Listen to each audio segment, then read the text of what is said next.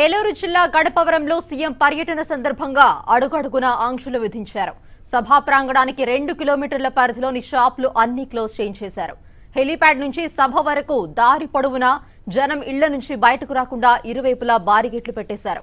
రైతు కార్మిక నిరుద్యోగ సంఘాల నేతల్ని కూడా హౌస్ అరెస్టు చేసేశారు.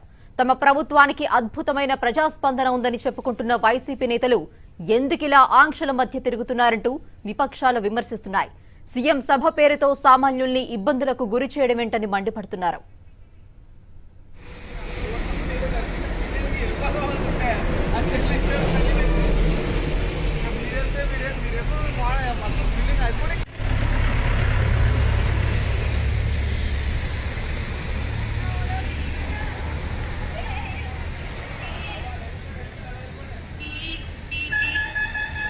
Yeah.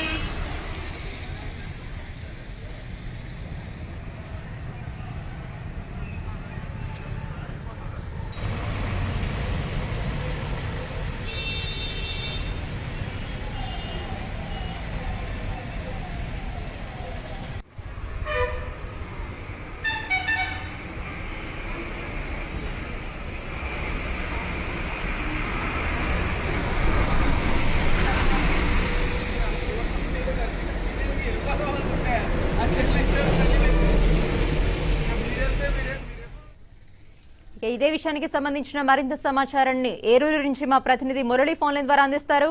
Murali. Thank you Sujana.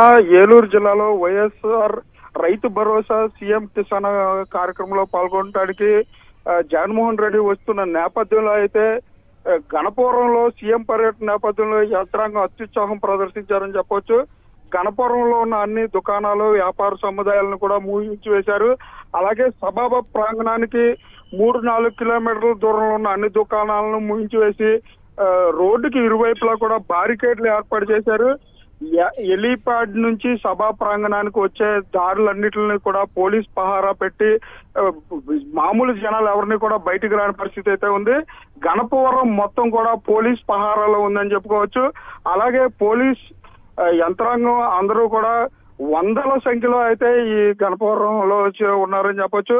అలాగే ఈ సీఎం కాన్వాయ్కి సంబంధించి డ్రైవర్లకు కానీ అలాగే వీరు ఎవరికి కూడా భోజన ఏర్పాట్లు చేయకపోవడం చేత కాన్వాయ్లో ఉండే సిబ్బంది కూడా తీవ్ర ఇబ్బందులు పడుతున్నామని కూడా చెప్తున్న పరిస్థితి అయితే ఉంది. అలాగే ఇది భీమవరం పట్టణానికి వెళ్ళే రహదారి కావడం చేత అటు అటు నుంచి ఇటు ఇటు నుంచి అటు వెళ్ళే వారు కూడా తీవ్ర ఇబ్బందులు పడుతున్న పరిస్థితి అయితే ఇక్కడ చోటు చేసుకుంది సృజన. వినిపిస్తుంది మొత్తం. Thank you Murali.